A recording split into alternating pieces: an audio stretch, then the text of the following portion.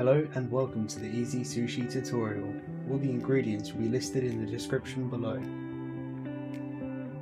Start by oiling every part of the EZ Sushi maker, including the rod.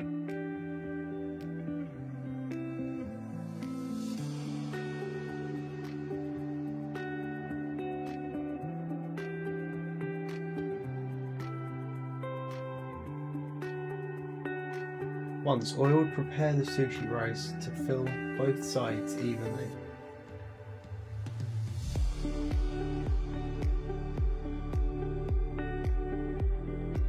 Use the rod to press down the rice and make a crevice for the filling.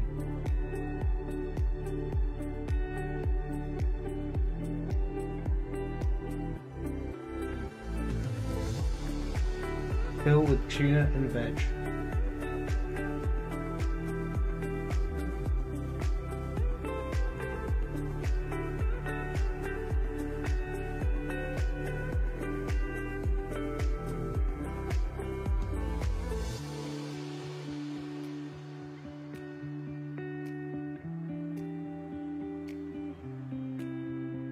Insert the rod into the screw-shaped slot and close the sushi maker at a 45 degree angle. Flip it shut and put on the cap.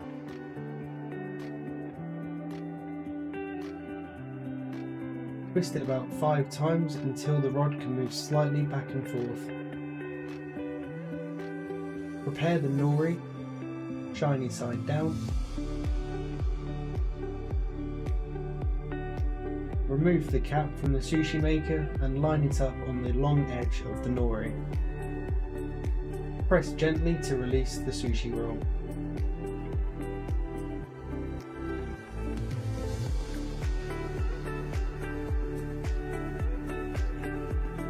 Once ready, prepare to roll it up and leave a slight lip as this will have to be lightly wet in order to seal.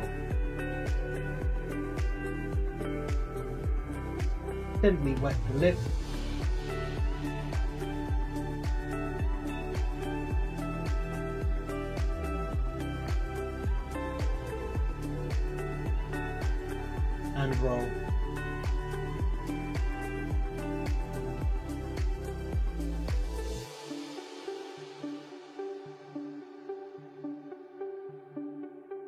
I used oil to add crispy onions to the top of my sushi roll. This is completely optional and only adds some extra flavour.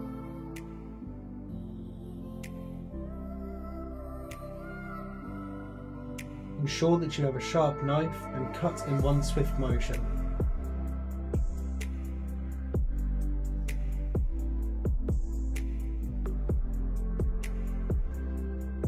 Enjoy.